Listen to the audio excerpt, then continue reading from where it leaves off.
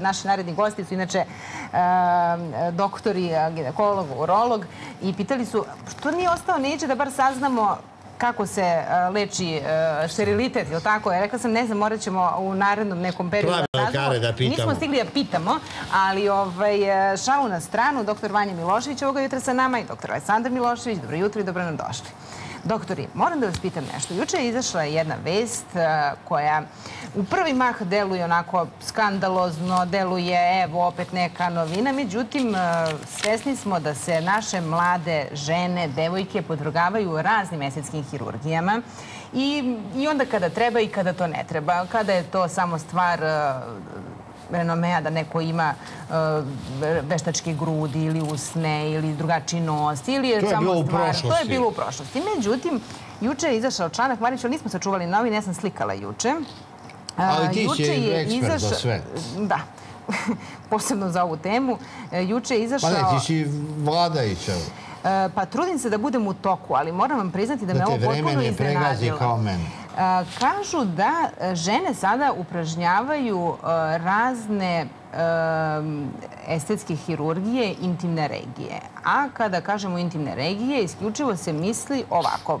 Pripadnice lepšeg pola ubrizgavaju hijaluron u intimnu regiju, gde se nalazi čuvena G tačka, važna za vrhunski užitak. Da ne bi ovo otišlo u šalu, kako već nazirem da može da izgleda ovaj razgovor, ovo je jako važna tema i mislim e, da je vrlo važno stručno govoriti o tome koje su sve... Da, estetska operacija vagina. Pasnosti. Evo, doktore, ti znaš sve. Da. Jesi li da. ti ikad video uh, vešta, uh, plastične hirurge koji rade vaginu? Pa ja kao čovjek koji sam učestvovao u promenama pola, normalno smo radili... Vi ste napravili toliko vagina, vagina da. više nego i priroda. Ali, ali kao što se muškarci obrezuju, tako i žene imaju uh, određene probleme, znači imaju prekriven klitoris pa mogu, mogu da se obrežu praktično da bi klitoris bio uh, dostupniji e, za nadražaj. Mogu da imaju, kako kaže profesor Sava Perović, kaže, kada smo mi bili mladi pre 20 godina, što dođite da vidite preklapača, mlada devojka leži, ima velike, male usne, one su bile jako visile kao suknjica jedna. To se zvao preklapač. Preklapač, on je tako to zvao.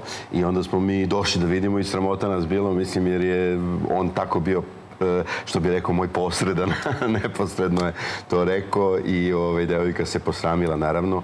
E, Baš ovaj, e, tako da danas pa postoji... Pa da je neko zove preklapača. Tako je, estetska hirurgija genitalnih organa postoji, naravno, ali znači, tu... ovo nije ništa novo ne, ne, što je piše... Jeste novo, Marica, sačekajte, ovo što ali... doktor sad objasnio, govorio je o, anomalija. o anomalijama. Dakle, to pa nisu to anomalije, jednostavno to je osobina.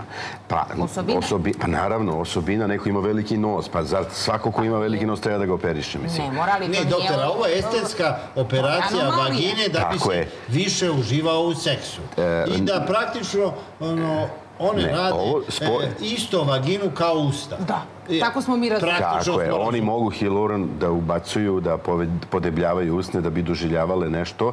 Međutim, ja kažem, uvek se kosim sa plastičnih... Pa isti je materijal koji se koristi, ali uh, ono što se ja da svađam sa plastičnim hiruzima... Ja sam znala da ovaj razgovor neću...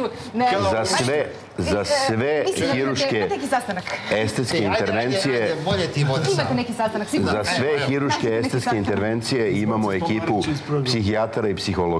Nijedan jedini pacijent, tu sam stalno u koliziji sa plastičnim hirusima, ne može da dođe na operaciju, da li muško ili žensko, nije bitno, dok ne prođe određeno e, razgovor sa psihologom i psihijatrom, da se vidi ako se radi o relativno e, jednoj normalnoj osobi.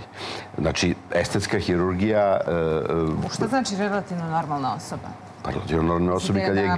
Razgovor sa psihologom. Naravno, da... ako neko ima veliki nos, hoće da smanji nos, mislim, mora da prođe, po mom mišljenju, e, e, određeni, određeni, je tako, screening psihologa, bar, da bi se vidjelo da li će on biti zadovoljan time. Mhm. Posle toga jer veličina nosa nije bitna. Neki vole veliki nos baš, prema tome... Vanja. Pa evo, ja bih se nadovezao na ovo što je uvaženi kolega rekao, osim tih urođenih i anomalija vagine, često se procesi benigni, ali što je najgore, a ti maligni procesi završavaju ozbiljnim hiruškim intervencijama.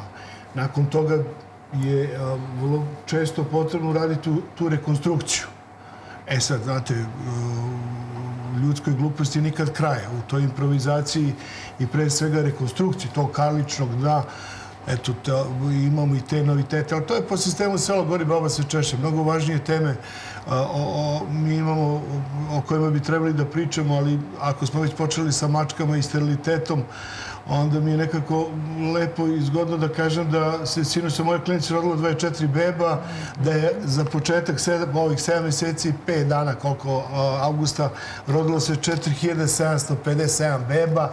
Da su I važna stvari... vest je da je u Dragiša Mišović 1000 do sada, procenjuje se da će do kraja godine biti 3600, što je oboren rekord četiri puta. I u Novosadskoj, u Novosadskom prodaju, su to stvari o kojima mi treba da pričamo. Znate, sad ovako, drago mi što je Marić otišao u emisiju koju imate predstavnika vlade pa dovedete nekog ko se bavi lečenjem steriliteta putem mačaka, onda sve ovo nekako ispada devalvirano. Sad će se vrati Marić, pa Ne, drago mi je. Ali, ne, ne, ali ovaj- Vanja, ja mislim da zapravo nije... Ne, ne, apsolutno vas razumem, zato što mi smo imali pre par emisije neke probleme sa tom estetskom hirurgijom kada smo baš govorili da, da priučeni ljudi rade na licu žene. Zašto ne bi radili na genitalnim organima? Mi smo u ovoj zemlji mnogo toga devalvirali.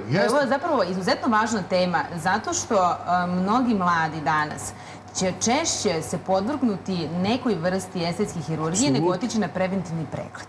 Pa tu ste upravo ja apsolutno razumem vašu potrebu. Da, potreba da, da, da, da, makar sa stručnim ljudima, znate, ovo u situaciji kada smo toliko povodljivi, mhm. posebno taj mladi svet koji lako možete zavedete oglasom u novinom ili nekim prilogom od 10-15 minuta, koji u potrebi da, to da budeš mnogo lep i da budeš uvek in, ponekad se, ne ponekad, nego čini se, mnogo češće se, nam se vraća kao bumerang.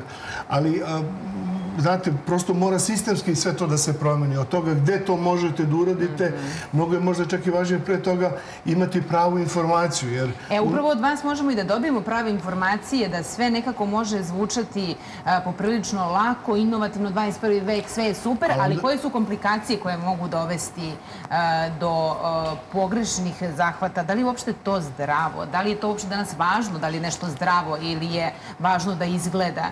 Mi, toliko smo Vanja sa vama govorili evo, o ginekološkim e, ženskim problemima, o cistama, o nekim svakodnevnim stvarima gde ljudi su počeli podrazumevaju bolest kao svakodnevicu. A podrgaju sestrskim stvarima. Pa evo gledajte mi, pošto pričamo o urogenitalnoj regiji, ta povezanost i, i, anatomska nas čini da radimo otprilike iste stvari. Upravo to. redko kada ćete vi doći u situaciju da, da čak i zakazujete pregled kod ginekologa i kod urologa po prirodi stvari pokušajte da zakažete negde pregled kod estetskog hirurga, sad posebno kad je vreme godička odmora, pa ćete shvatiti da ne devalviramo sve i ostalo. Naprotiv, znate, tako je. Nije to ideja, ovo je više... Te kozmetičke, a, kozmetičke a, stvari koje se znate, rade kod, kod žena, kad pričamo o ginekološkim mhm. stvarima, ponekad nas izluđuju do toga da onda imamo porast onkoloških slučajeva. Džabe, doktorka Grujić priča da ćemo imati epidemiju malignih bolesti, posebno kad su onkološki e, slučajevi kod mladih osoba i mladih žena, uroloških stvari. Znate, mi se po prirodi stvari setimo problema kada nam je aktualno, a onda rešamo te kozmetičke. A, upravo to, ali e, mislim, e, moja želja je zapravo bila da krenemo obrnuto. Dakle, jer nekako nam se čini kada govorimo uvek u tim suštinski važnim temama, nekako preopterećujemo ljude, onda shvatimo da se oni podvrgavaju ovim sitnim nebitnim, ali posledice ovih sitnih i nebitnih vrlo često dovode upravo do vas, da rešavate posledice e, nekih estetskih problema koje nisu bile e, važne za samo zdravlje osobe, muškarca ili žene, nego da je izazvalo mnogo veće komplikacije. E, doktore, koliko ste vi puta imali slučaj, a radili ste, kao što smo rekli, i i stvarali to što je priroda, uslovno rečeno, dala da se dogodi da muškarci i žene imaju samo želje koje nemaju suštinski problem i da li se onda upuštati u to? A posebno kada govorimo o nešto što ima određenu vrstu rizika, jer sam sigurna da ima određenu vrstu rizika ako neko u, na mesto gde je G tačka ubrizga hiluron. Pretpostavljam. Pa, prvo G tačka, mislim, to je malo imaginarna priča, ali e, mora da se kaže inervacija e, vagine. Inervacija je najviše, znači u predelu klitorisa, spoljnih genitalija i uz uretru, znači mokraćni kanal, znači na gornjoj strani. Prema tome ima e, mišljenja da na spoju mokraćnog kanala i bešike postoji jedna ploča koja ima malo više tih, znači na kraju vagine, gde je spoj sa bešikom, ima ploča jedna koja ima malo više tih receptora koja bi mogla da predstavlja tu čuvenu G tačku, ali ubrizgavanje hilurona u te predele je vrlo rizična i mislim da je to sasvim jedna pogrešan pristup lečenja anorgazmije. Anorgazmija je nešto što postoji i najčešće je povezana sa odnosom muško-žensko u komunikaciji. Prema tome, opet govorimo o psiholozima, psihijatrima koji moraju da budu deo tima kad se rešava problem G tačke ili bilo koje, jer e, to mora ozbiljna, ozbiljan pristup da bude. Ako neko obećava orošavanje vagine ili e, sad postoji ti aparati koji e, ultrazvučno rešavaju kaže, stari problem. orošavanje, ovo je nešto novo. To je, to je vrlo blizu šarlatanstvu. Šta znači orošavanje zapravo? To je vrlo blizu šarlatanstvu. Repitalizacija vagine. Repital, da. A može to nekako na narodski jezik? Mislim, to pa da se podmladi tkivo vagine, elastičnije da bude i tako dalje. Tu se koriste i ti ultrazvučni aparati neki. E, vaginalni imali smo predavanje jednog, jednog hrvatskog lekara, našeg prijatelja, inače, koji je pokazivao kako ubacuje i izbacuje sondu koja je penoidnog oblika i e, praktično masira vaginu i na taj način dovodi do e, ono što mislim da je sigurno... Kao trening, kao, kao trening.